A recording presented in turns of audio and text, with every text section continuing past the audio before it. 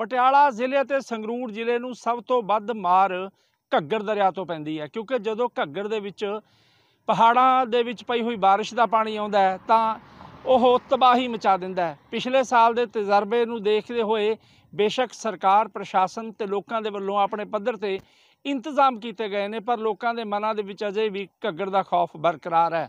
ਮੈਂ ਦੇਵੀਗੜ੍ਹ ਇਲਾਕੇ ਦੇ ਵਿੱਚ ਮੌਜੂਦ ਆ ਤੁਹਾਨੂੰ ਘੱਗਰ ਦੇ ਹਾਲਾਤ ਦਿਖਾ ਦਈਏ ਕਿ ਘੱਗਰ ਦਰਿਆ ਜਿਹੜਾ ਪੂਰਾ ਪਾਣੀ ਹੈ, ਲਗਾਤਾਰ ਵੱਧ ਰਿਹਾ ਹੈ ਤੇ ਹਫਤਾ ਪਹਿਲਾਂ ਦੀ ਗੱਲ ਕਰੀਏ ਤਾਂ ਹੁਣ ਜਿਹੜਾ ਪਾਣੀ ਹੈ, ਉਹ ਇੰਨਾ ਪਾਣੀ ਨਹੀਂ ਸੀ, ਪਰ ਲਗਾਤਾਰ ਚੰਡੀਗੜ੍ਹ ਸਾਈਡ ਤੋਂ ਆ ਰਿਹਾ ਪਾਣੀ ਕਿਉਂਕਿ ਜਦੋਂ ਹਿਮਾਚਲ ਪ੍ਰਦੇਸ਼ ਦੇ ਵਿੱਚ ਮੀਂਹ ਪੈਂਦਾ ਤਾਂ ਉਹ ਪੂਰੇ ਘੱਗਰ ਦਰਿਆ ਦੇ ਵਿੱਚੋਂ ਪਾਣੀ ਆ ਜਾਂਦਾ ਤੇ ਇਹੀ ਪਾਣੀ ਪਟਿਆਲਾ ਜ਼ਿਲ੍ਹੇ ਤੇ ਸੰਗਰੂਰ ਜ਼ਿਲ੍ਹੇ ਨੂੰ ਮਾਰ ਕਰਦਾ ਮੈਂ ਜਿਸ ਜਗ੍ਹਾ ਦੇ ਉੱਪਰ ਮੌਜੂਦ ਹਾਂ, ਉਹ ਜਗ੍ਹਾ ਅੱਗੇ ਹਰਿਆਣੇ ਨਾਲ ਪਟਿਆਲਾ ਜ਼ਿਲ੍ਹੇ ਨੂੰ ਜੋੜਦੀ ਹੈ ਤੇ ਇਹ ਘੱਗਰ ਦਰਿਆ ਜਿਹੜਾ ਹੁਣ ਲਗਾਤਾਰ ਵਧੇ ਹੋਏ ਪਾਣੀ ਦੇ ਨਾਲ ਭਰਿਆ ਪਿਆ ਸੰਗਰੂਰ ਵੱਲ ਨੂੰ ਨਿਕਲ ਜਾਂਦਾ ਦੂਰ ਤੱਕ ਨਜ਼ਰ ਮਾਰੀਏ ਤਾਂ ਪਾਣੀ ਇਸ ਤਰੀਕੇ ਨਾਲ ਵੱਧ ਰਿਹਾ ਕਿ ਜੇਕਰ ਆਉਣ ਵਾਲੇ ਦਿਨਾਂ ਦੇ ਵਿੱਚ ਪਹਾੜੀ ਇਲਾਕਿਆਂ 'ਚ ਬਾਰਿਸ਼ ਹੁੰਦੀ ਹੈ ਤਾਂ ਇਹ ਜਿਹੜਾ ਪਾਣੀ ਦਾ ਲੈਵਲ ਹੈ ਹੋਰ ਵੱਧ ਜਾਊਗਾ ਤੇ ਸੱਜੇ ਪਾਸੇ ਦੇਖੀਏ ਤਾਂ ਖੇਤ ਨਜ਼ਰ ਆ ਰਹੇ ਨੇ।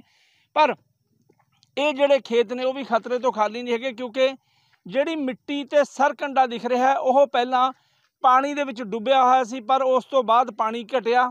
ਪਰ ਉਸ ਤੋਂ ਬਾਅਦ ਲਗਾਤਾਰ ਜਦੋਂ ਬਾਰਿਸ਼ ਪੈਣ ਲੱਗੀ, ਤਾਂ ਘੱਗਰ ਦਾ ਜਿਹੜਾ ਪਾਣੀ ਹੈ, ਲਗਾਤਾਰ ਵੱਧ ਰਿਹਾ ਦੂਜੀ ਗੱਲ ਇਹ ਵੀ ਹੈ ਕਿ ਬੇਸ਼ੱਕ ਪੰਜਾਬ ਦੇ ਵਿੱਚ ਆ ਪਟਿਆਲੇ ਜ਼ਿਲ੍ਹੇ ਦੇ ਵਿੱਚ ਬਾਰਿਸ਼ ਨਾ ਹੋਵੇ, ਪਰ ਜਦੋਂ ਪਟਿਆਲੇ ਤੋਂ ਪਿੱਛੇ ਹਰਿਆਣਾ ਸਾਈਡ ਚੰਡੀਗੜ੍ਹ ਸਾਈਡ ਜਿਹੜਾ ਇਲਾਕਾ ਹੈ ਉੱਥੇ ਜਦੋਂ ਮੀਂਹ ਦਾ ਪਾਣੀ ਵੱਖ-ਵੱਖ ਛੋਟੇ ਸਰੋਤਾਂ ਨਾਲਿਆਂ ਦੇ ਰਾਹੀਂ ਘੱਗਰ ਦਰਿਆ 'ਚ ਪੈਂਦਾ ਤਾਂ ਘੱਗਰ ਹੈ ਜਿਹੜਾ, ਉਹ ਤਬਾਹੀ ਮਚਾ ਦਿੰਦਾ ਸੋ ਇੱਕ ਵਾਰੀ ਫਿਰ ਪਟਿਆਲਾ ਅਤੇ ਸੰਗਰੂਰ ਜ਼ਿਲ੍ਹੇ ਦੇ ਜਿਹੜੇ ਲੋਕ ਨੇ, ਉਹਨਾਂ ਦੇ ਮਨਾਂ ਦੇ ਵਿੱਚ ਘੱਗਰ ਦੇ ਵੱਧਦੇ ਹੋਏ ਪਾਣੀ ਨੂੰ ਲੈ ਕੇ ਖੌਫ ਹੈ ਤੇ ਅਗਰ ਆਉਣ ਵਾਲੇ ਦਿਨਾਂ ਦੇ ਵਿੱਚ ਲਗਾਤਾਰ ਇਹ ਪਾਣੀ ਵੱਧਦਾ ਤਾਂ ਪਟਿਆਲਾ ਅਤੇ ਸੰਗਰੂਰ ਜ਼ਿਲ੍ਹੇ ਦੇ ਲੋਕਾਂ ਦੇ ਲਈ ਚਿੰਤਾ ਵਾਲੀ ਗੱਲ ਹੋਊਗੀ, ਕਿਉਂਕਿ ਇਸ ਇਲਾਕੇ ਦੇ ਵਿੱਚ ਪਿਛਲੇ ਸਾਲ ਘੱਗਰ ਦਰਿਆ ਨੇ ਭਾਰੀ ਤਬਾਹੀ ਮਚਾਈ ਸੀ ਅਤੇ ਕਰੋੜਾਂ ਰੁਪਏ ਦਾ ਨੁਕਸਾਨ ਹੋਇਆ ਸੀ। ਸੋ ਘੱਗਰ ਦੀ ਮਾਰ ਦੀ ਜੇ ਅੱਗੇ ਗੱਲ ਕਰੀਏ ਤਾਂ ਸਨੌਰ ਹਲਕੇ ਦੇ ਜਿਹੜੇ ਦਰਜਨਾ ਪਿੰਡ ਨੇ ਉਹ ਲਗਾਤਾਰ ਘੱਗਰ ਦੀ ਮਾਰ ਚੱਲਦੇ ਰਹੇ ਨੇ। ਮੈਂ ਇਸ ਵੇਲੇ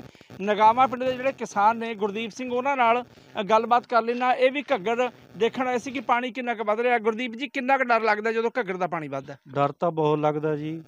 ਆ ਦੇਖ ਲਓ ਆ ਪਹਾੜ ਪੈ ਗਿਆ ਹੁਣ ਇੱਥੇ। ਹਾਂ। 4-4 5-5 ਕਿਲੋਮੀਟਰ ਤੱਕ ਇਹ ਮਾਰ ਕਰਦਾ ਘਰਾਂ 'ਚ ਪਾਣੀ ਵੜ ਜਾਂਦਾ। ਅੱਗੇ ਕੀ ਫਸਲ ਮਰ ਜਾਂਦੀ ਆ ਪਿਛਲੇ ਸਾਲ ਫਸਲ ਮਰੀ ਹੋਈ ਆ ਹਾਲ ਤੱਕ? ਮੁਆਵਜ਼ਾ ਨਹੀਂ ਮਿਲਿਆ ਹੈਗਾ। ਥੋੜੀ ਵੀ ਮਰੀ ਹਾਂਜੀ ਹਾਂ। ਹਾਲ ਤੱਕ ਮੁਆਵਜ਼ਾ ਨਹੀਂ ਮਿਲਿਆ ਹੈਗਾ। ਇਹਦੇ ਨਾਲ ਡਰ ਤਾਂ ਘਰਾਂ 'ਚ ਪਾਣੀ ਵੜਦਾ ਜ਼ਿਆਦੇ। ਤੁਸੀਂ ਲਗਾਤਾਰ ਜਦੋਂ ਇੱਥੇ ਦੇਖਣ ਆਉਨੇ ਹੋ ਇਹੀ ਡਰ ਹੁੰਦਾ ਮੀਂਹ ਪੈਣ ਤੋਂ ਬਾਅਦ ਕਿ ਪਾਣੀ ਵੱਧ ਕੇ ਅੱਗੇ ਨਾ ਜੇ? ਹਾਂਜੀ ਹਾਂ। ਇਹ ਤਾਂ ਪੁੱਠਾ ਪਾਣੀ ਜਾਣ ਲੱਗ ਜਾਂਦਾ ਇਹਦੇ ਨਾਲ। ਇਹਦੇ ਨਾਲ ਪਾਣੀ ਵਧਣ ਨਾਲ। ਅੱਗੇ ਡਾਫ ਲੱਗੀ ਹੁੰਦੀ ਅੱਗੇ ਡਾਫ ਲੱਗ ਜਾਂਦੀ ਆ। ਆਹ ਸੜਕ ਕਾਰਨ ਨਾਲ ਵੀ ਜ਼ਿਆਦਾ ਪਾਣੀ ਵਧਣ ਦਾ ਪਿੱਛੇ ਨੂੰ ਜਾਣ ਲੱਗ ਜਾਂਦਾ। ਇਹ ਦੇਖ ਲਓ। ਹਾਂ। ਸੋ ਗੁਰਦੀਪ ਸਿੰਘ ਕਿਸਾਨ ਨੇ ਕਹਿੰਦੇ ਪਿਛਲੇ ਸਾਲ ਵੀ ਅਸੀਂ ਜਿਹੜਾ ਸੰਤਾਪ ਹੋ ਗਿਆ ਸੀਗਾ ਤੇ ਇੱਕ ਹੋਰ ਕਿਸਾਨ ਮੇਰੇ ਨਾਲ ਮੌਜੂਦ ਨੇ। ਦੇਖੋ ਮੋਟਰਸਾਈਕਲ ਤੇ ਆਏ ਨੇ ਇਸ ਘੱਗਰ ਦੇ ਹਾਲਾਤ ਦੇਖਣ ਦੇ ਲਈ। ਬਾਈ ਜੀ ਕੀ ਨਾਮ ਹੈ ਤੁਹਾਡਾ? ਗੁਰਵਿੰਦਰ ਸਿੰਘ ਜੀ। ਗੁਰਵਿੰਦਰ ਕਿਸ ਤਰ੍ਹਾਂ ਦੇ ਹਾਲਾਤ ਲੱਗਦੇ ਨੇ? ਤੁਸੀਂ ਹੁਣ ਦੁਬਾਰਾ ਆਏ ਹੋ ਇੱਥੇ ਦੇਖਣ ਕਿਵੇਂ ਲੱਗਦਾ? ਦੇਖੋ ਸਰ ਹੁਣ ਡਰ ਤਾਂ ਲੱਗਦਾ ਹੀ ਆ। ਪਿਛਲੀ ਵਾਰੀ ਵੀ ਆਪਣਾ ਪਾਣੀ ਬਹੁਤ ਜ਼ਿਆਦਾ ਆਇਆ ਤੇ ਬਹੁਤ ਜ਼ਿਆਦਾ ਨੁਕਸਾਨ ਕਰਿਆ ਫਸਲਾਂ ਦਾ। ਹੁਣ ਜ਼ਿਮੀਂਦਾਰ ਵੀ ਪਿਛਲੀ ਵਾਰੀ ਜਿੰਨੀ ਫਸਲਾਂ ਖਰਾਬ ਹੋਈਆਂ ਆਪਣਾ ਮੰਨ ਲਓ। ਹੁਣ ਤੱਕ ਉਹਨਾਂ ਨੂੰ ਡਰ ਇਸੇ ਗੱਲ ਦਾ ਸੀ ਵੀ ਹੁਣ ਵੀ ਦੁਬਾਰਾ ਪਾਣੀ ਆਣ ਕਰਕੇ ਕੀ ਫਸਲਾਂ ਖਰਾਬ ਨਾ ਹੋ ਜਾਣ ਆਪਣੀਆਂ। ਠੀਕ ਹੈ ਜੀ? ਹੁਣ ਪਹਿਲਾਂ ਵਾਲਾ ਜਿਹੜਾ ਵੀ ਲਾ ਲਓ ਕਰਜ਼ਾ ਹੁਣ ਤੱਕ ਨਹੀਂ ਉਤਰਿਆ ਅੱਗੋਂ ਜ਼ਿਮੀਂਦਾਰ ਡਰਦਾ ਇਸੇ ਕਰਕੇ ਆ ਵੀ ਕਰਜ਼ਾ ਚੱਕਾ ਕਿੱਥੇ ਜਾਏ। ਬਿਲਕੁਲ ਤੁਸੀਂ ਇੱਕ ਗੱਲ ਹੋਰ ਕਹਿ ਰਹੇ ਸੀ ਕਹਿੰਦੇ ਅਸੀਂ ਬਹੁਤੇ ਕਿਸਾਨਾਂ ਨੇ ਤਾਂ ਡਰਦੇ ਮਾਰੇ ਫਸਲ ਹੀ ਨਹੀਂ ਬੀਜੀ ਐਤਕੀ ਝੋਨੇ ਦੀ ਕੀ ਨੁਕਸਾਨ ਹੋ ਜਾਊਗਾ? ਹਾਂਜੀ ਸਰ ਫਿਰ ਡਰ ਤਾਂ ਹੁੰਦਾ ਹੀ ਹੈ ਪਿਛਲੀ ਵਾਰੀ ਬਹੁਤ ਜ਼ਿਆਦਾ ਨੁਕਸਾਨ ਹੋ ਗਿਆ। ਤੇ ਇਸ ਕਰਕੇ ਬਹੁਤ ਜ਼ਿਆਦਾ ਜ਼ਿਮੀਂਦਾਰਾਂ ਭਾਈਆਂ ਨੇ ਆਪਣਾ ਫਸਲ ਬਹੁਤ ਘੱਟ ਬੀਜੀ ਆ ਕਿ ਪਾਣੀ ਦੇ ਹੁਣ ਵੀ ਚਾਂਸ ਬਹੁਤ ਜ਼ਿਆਦਾ ਸੀ।